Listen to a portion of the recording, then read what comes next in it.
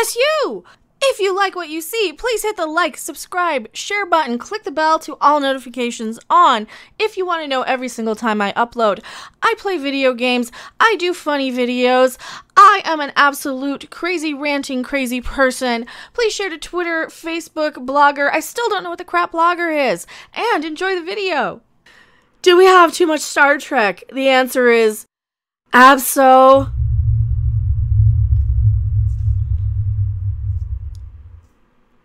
effing Luli. I guess I'm censoring myself or something again. Yes, we have too much. We are saturated, overly saturated. We are dripping with the goo of saturation that is Star Trek. Why am I drippings with goo? Hello, everyone. I am still Mecha Random 42. Still the one, still the only, still the original, still your favorite YouTube consumer advocate, Harpy. This is a quickies, isn't it? Is this, is this the quickies? It's time once again for the Quickies. From Star Trek to superheroes, SJW meltdowns, entertainment, cancel culture fails, and more. Yeah, I think we gotta do a quickies on this because, well, there's not a whole lot to say to this other than yeah, yeah, I think I think you're right. Zachary Quinto says the market might be too saturated for a new Star Trek movie. You're right. You're right. We have too much Star Trek. We have too much bad Star Trek right now, specifically with all of the Kurtzman, Abrams, all of those new modern day. Star- yes, yes, we have too many bad Star Trek things, Mr. Zachary Quinto. He says that everyone involved in Star Trek is eager for a fourth installment to the blockbuster franchise that really don't do much, much more than break even but he believes the market might be might be too saturated for it. Yes. Yes, and no, nobody wants a fourth movie. Nobody cares about Star Trek anymore. Everybody's moved on. They've already told half of their fan base to bugger off. Did you see? Did you see what Jason Isaacs said? He already told half of his fan base to bugger off time and time again. See this stuff. This stuff. You're you're already telling half of your fan base to bugger off because you know what? So stop, just stop, shut up. Nobody is any better or cares more than anybody else. We're tired of this. We're tired of the holier than thou attitude on this crap. Nobody cares more than any other person, and anybody who does so on social media is just trying to be more virtuous than everybody else and basically tell us all that, that their shit doesn't stink. That's what you're telling me. Grow up, Jason Isaacs. Nobody cares what you have to say. He then told The Talk that the market might be a bit too saturated for a new Star Trek film. So I'm not sure what the plans are for a feature film version of the franchise, but we're all here if they want to beam us up, except for Chris Chris Pine, right? And Chris Hemsworth. Chris Hemsworth was the one who was really really holding out because he's worth more money. Wasn't he? Wasn't he? Now he was coming back in as Chris Pine's dad. Chris Pine was trying to be a giant star right now with all the Wonder Woman drama going around. And you, you got well, he's doing pretty well for himself right now over on the boys. Is he on the boys? He's doing pretty well for himself here, Karl Urban. So yeah, yeah, I don't think anybody who's really needing to come back except Quinto. And my voice is going. I apologize. Now, normally, normally this would be its own video. The backlash against Last of Us 2 against Abby's muscular arms has been quieted down, but Neil Cuckman is still annoyed at how some angry fans got where he got annoyed at us. Okay. We're not angry. We're just saying you're you're kind of asking a lot of us to suspend our disbelief. You're kind of asking a lot of us to assume that a female is going to in a, you know, post-apocalyptic setting going to be able to work out to bulk up that much. Because you know what happens when you're in kind of a harsh environment? You start slimming down and you start losing a lot of muscle mass because you're you're having a hard time finding enough protein to keep up with that. And not only that, to get that workout schedule, to get those arms, you would have to work out quite a lot. And we already saw that based on her workout schedule in the game, she only works out like Thursdays and Tuesdays or something. So she would not even be able to get a physique like that. What was Neil Druckmann having to say about us? The outrage from some corners of The Last of Us 2 fandom has died down significantly since the game released this year. That's because everybody moved on. Again, you told your fan base to bugger off, and they did. Or it's become less vocal. Still, fans won't forget the homophobic content. Well, how are they homophobic when she's supposed to be heterosexual, a heterosexual woman? Right? And that was another thing they did. They queer baited us.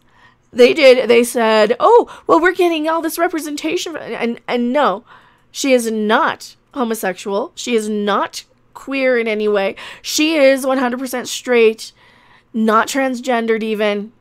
So you can shove this right up your patootie about Ellen and a certain character death that led to The Last of Us 2 review bombing on Medic.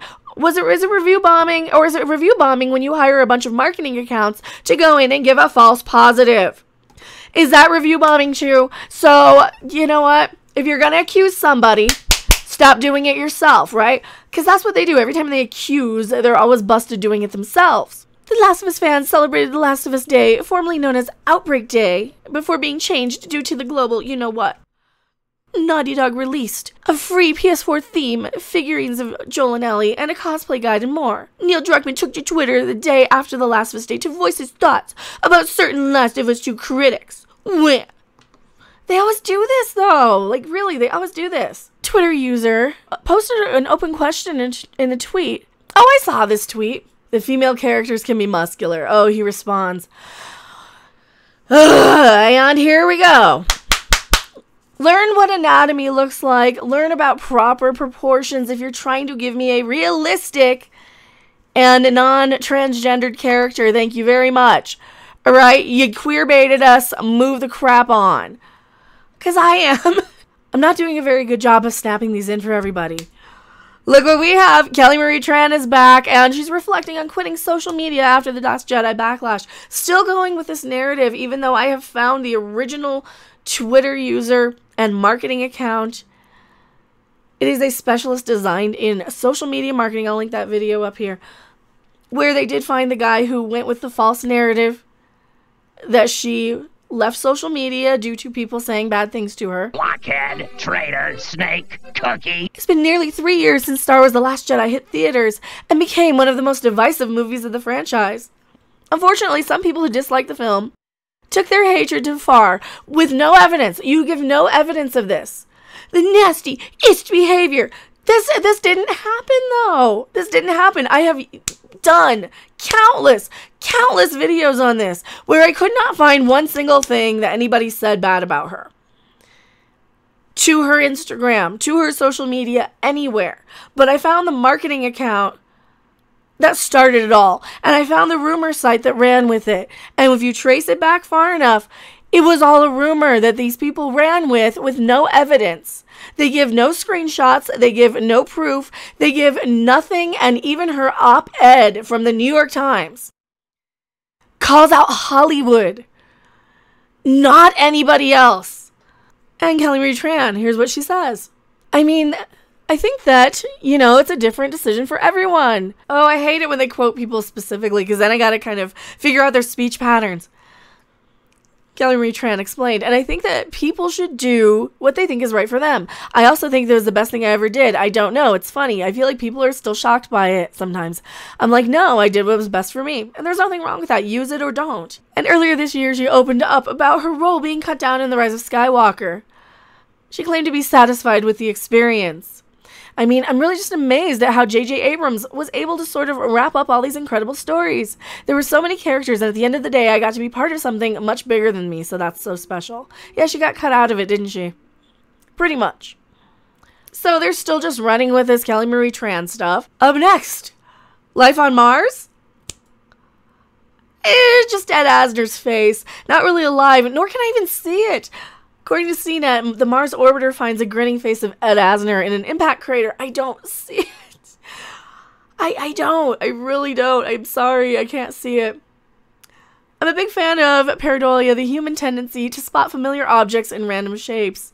That's like when you see, you know, a dragon in a cloud or something, or you know, you see the, the face and the grain of wood on the door. Those sort of things. I never see it though. Oh, I rarely, rarely, rarely ever see what I'm supposed to be seeing. Mars is a wonderland for pareidolia, giving us gifts from a pebble that resembles a robot leg to alien looking faces spotted in rock formations. Let's add a portrait of Ed Asner to the list. Do you guys want me to talk more about that stuff where we see like the cool shapes and stuff? Because I love that stuff. I talk about that stuff over with Creepy Little Book all the time. Subscribe to his channel if you want all this type of stuff. The alien stuff, Atlantis, all the cool Bigfoot. Subscribe to his channel for that one for sure. I don't see it, but I kind of see something a little more giggity than that somewhere.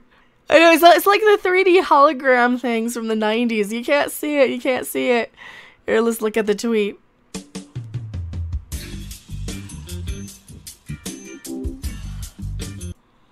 Well, that's an unexpected interruption. I don't see it. I don't see it.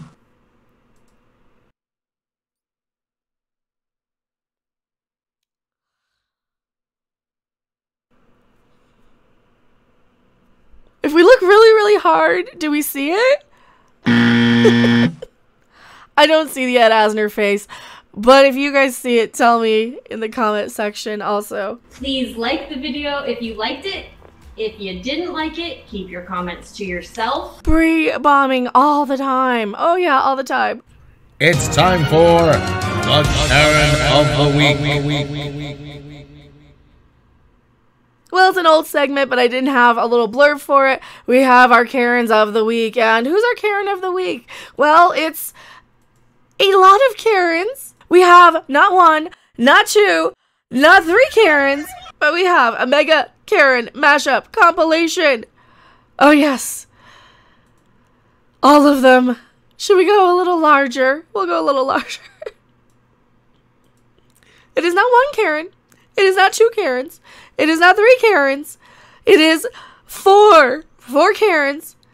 One of them might be a monkey. Monkey! Who did that? Let's take a look. Karens with nothing to say. They're all Karens. They're all wonderful.